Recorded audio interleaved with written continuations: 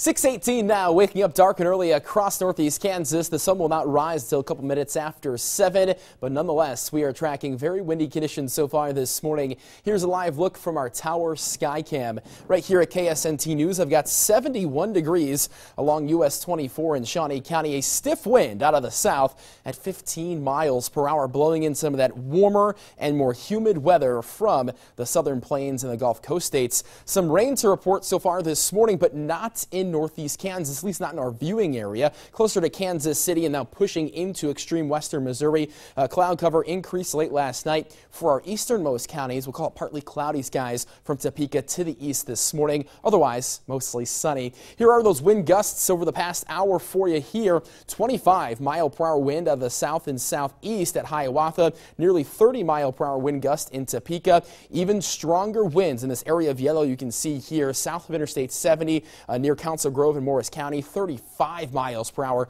out in Concordia. Tracking your temperature forecast for you today. We're tracking highs in the middle to upper 80s once again. A chance for 90 uh, for the western half of northeast Kansas. 77 degrees, mostly sunny skies. A windy day by your lunch break. Tonight we fall back down to 68, partly cloudy. Isolated showers for north central Kansas prior to dawn tomorrow. Again, otherwise we are dry. Our best chance for widespread rain happens on Friday when we track a cold front chopping high temperatures on Saturday back into the 70s.